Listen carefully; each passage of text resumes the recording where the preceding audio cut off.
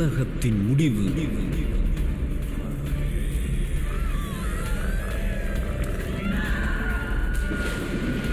உபத்திரவத்தின் உச்சம்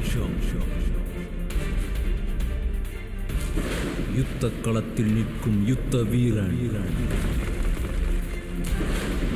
ஆண்டவராகிய இயேசு வருகிறார் நீங்கள் ஆயத்தமா கடைசி காலத்தை சந்திக்க ஆயத்தப்படு Welcome to all Angel TV viewers who are watching this program. Today we will continue with the next level of our episode series Prepare to Meet the End Times.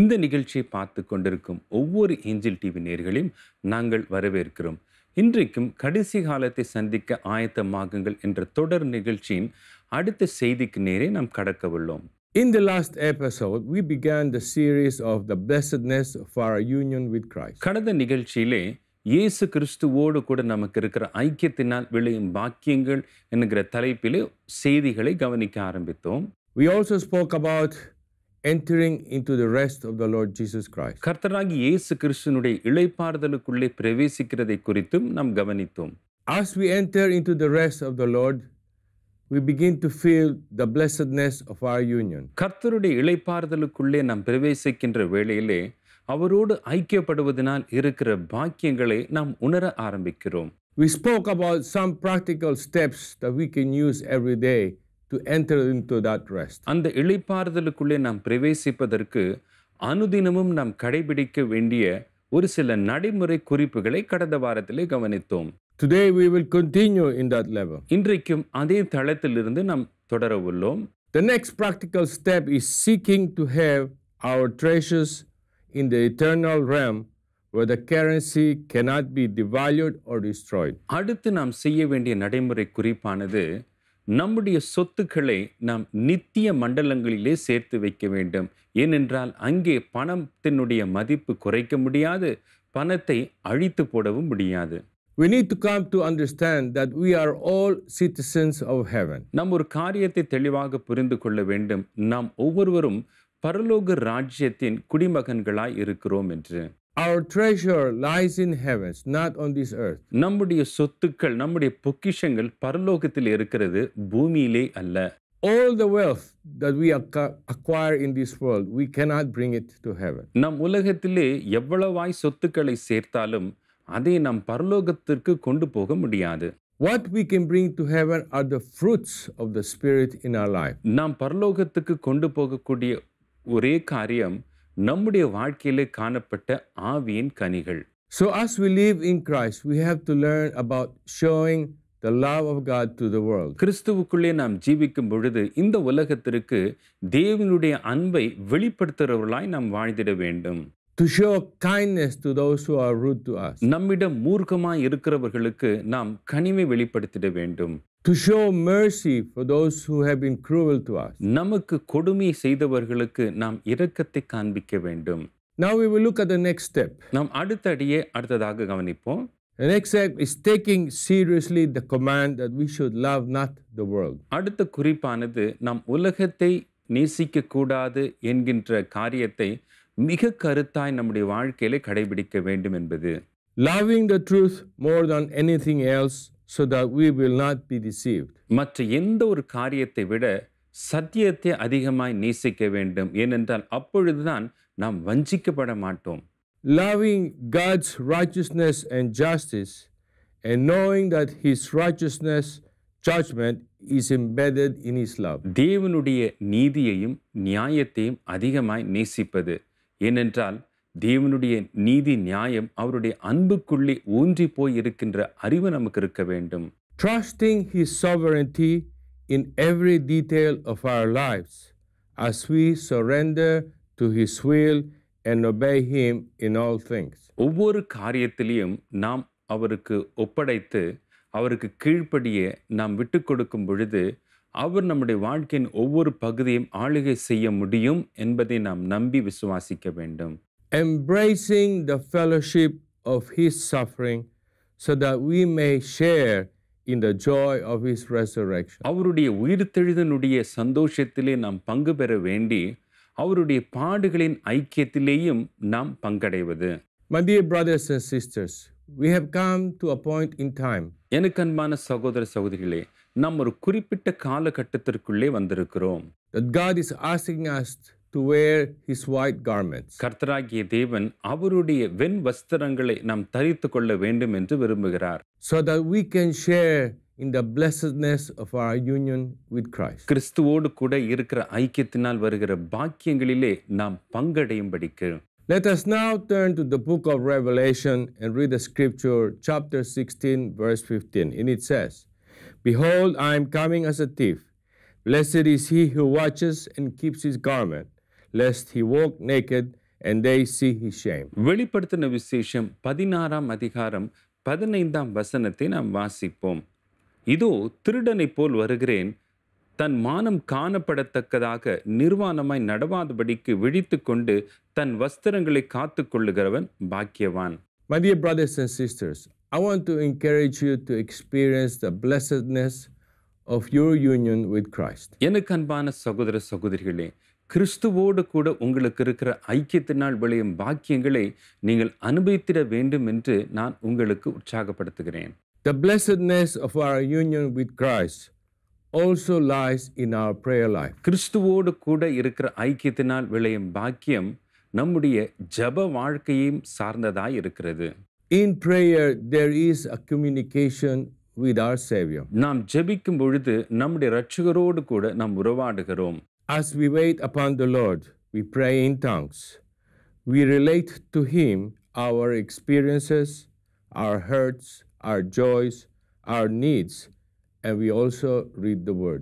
தேவனுடைய சமூகத்தில் நாம் காத்திருக்கும் பொழுது நாம் அந்நிய பாஷைகளிலே ஜபிக்கிறோம் அதோடு கூட நம்முடைய இன்பங்களையும் நம்முடைய துன்பங்களையும் நம்முடைய வேண்டுதல்களையும் நம்முடைய தேவைகளையும் நாம் அறிவிக்கிறோம் அதனால் வருகிற ஆசீர்வாதங்களையும் அவரிடத்திலிருந்து வார்த்தையும் நாம் பெற்றுக்கொள்கிறோம் We stay quiet in the presence of the Lord to hear from our God. தேவனுடைய சமூகத்திலே நாம் அமைதியாக இருந்து தேவனுடைய காரியத்தை தேவ சத்தத்தை கேட்க நாம் காத்து கொண்டிருக்கிறோம் Waiting in quietness before God would save us from committing mistakes and from many sorrows as we listen to His word.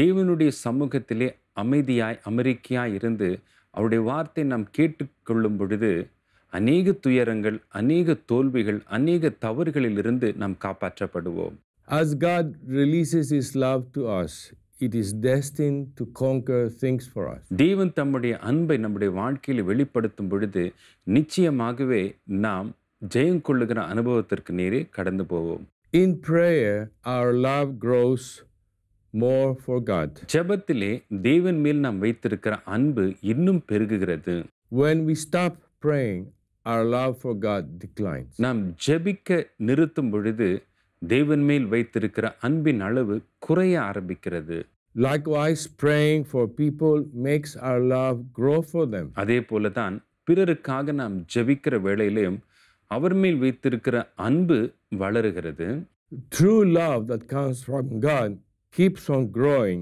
and if we stop it it dies. தேவனிடத்திலிருந்து நாம் பெற்றுக்கொள்கிற மெய்யான அன்பானது வளர்ந்து கொண்டே இருக்கும் ஒருவேளை நாம் நிறுத்துவோமானால் அது நம்முடைய வாழ்க்கையிலே கிரியை செய்யாமல் செத்து போகும் I want to encourage all the couples who are listening to this message. இந்த செய்தியை கேட்டுக்கொண்டிருக்கிற எல்லா தம்பதியர்களையும் நான் உற்சாகப்படுத்த விரும்புகிறேன் that you keep on praying for your spouses.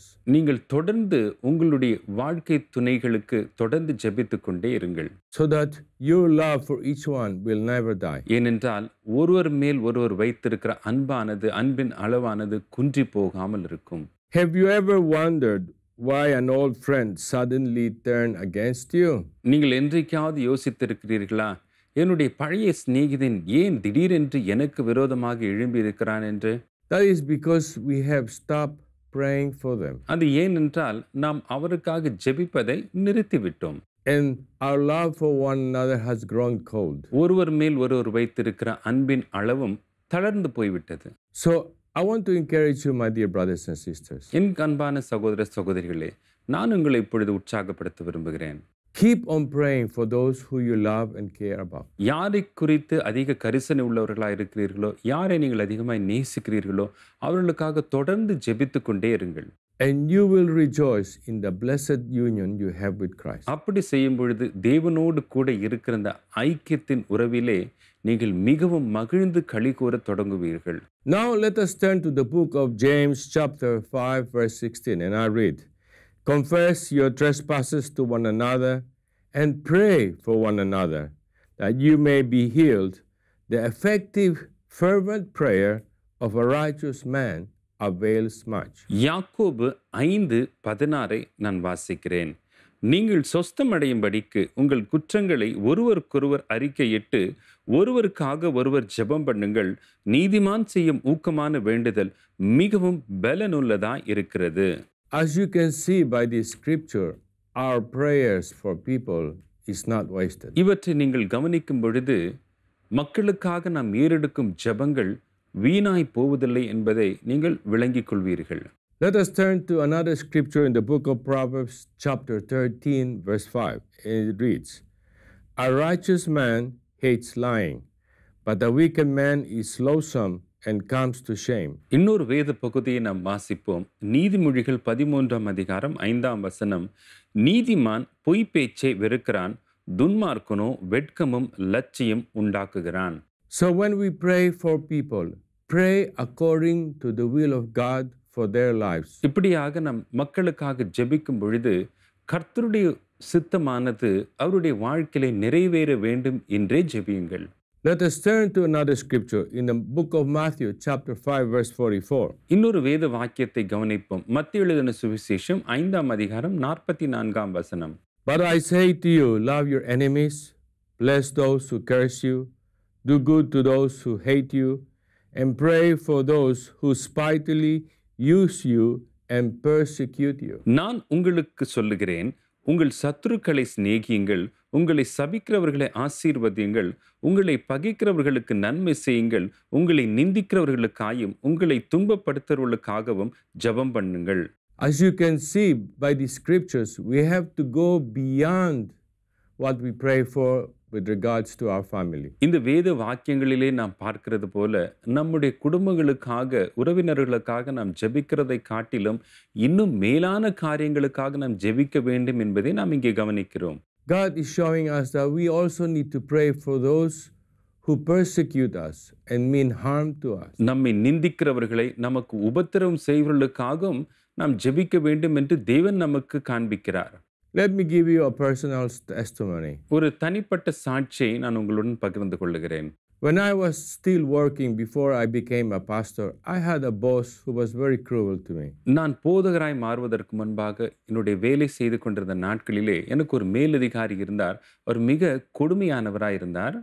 couldn't understand why he hated me. I tried my best to do everything that he told me, yet he found things wrong that I was doing. அவர் சொன்ன எல்லாவற்றையும் என்னால் முடிந்த மட்டும் நன்றாய் செய்தேன் ஆனாலும் அவர் எனக்குள்ளே குறைகளை கண்டுபிடிக்க ஆரம்பித்தார் Then one day the Lord asked me a question, who is in you? ஒரு நாள் கர்த்தர் என்னை பார்த்து ஒரு கேள்வி கேட்டார் உனக்குள்ளே யார் இருக்கிறார் என்று And I answered to the Lord, you are my Lord.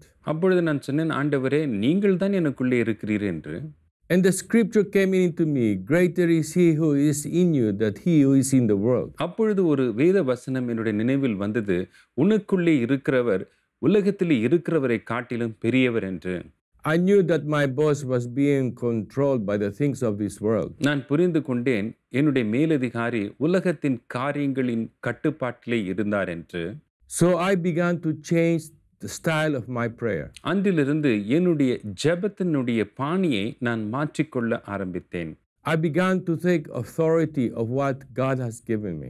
தேவன் எனக்கு கொடுத்த காரியத்திலே நான் அதிகாரம் எடுக்க ஆரம்பித்தேன் I would confess greater is he that who is in me that he who is out in the world. நான் எப்பொழுதுமே இப்படியாக அறிக்கை செய்வேன் எனக்குள்ளே இருக்கிறவர் வெளியிலே இருக்கிறவரை காட்டிலும் பெரியவராய் இருக்கிறார் என்று I began to release upon my boss such an intense love of God. என்னுடைய மேலதிகாரியின் மேல் தேவனுடைய அந்த அளவற்ற அன்பை நான் வெளிப்படுத்த ஆரம்பித்தேன் until finally it began to work. கடைசியாக ஒரு நாளிலே அது கிரியை செய்ய தொடங்கியது.